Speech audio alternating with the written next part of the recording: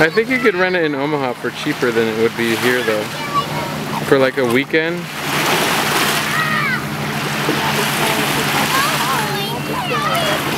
Actually, I think you can rent it from MWR. Your dad's retired.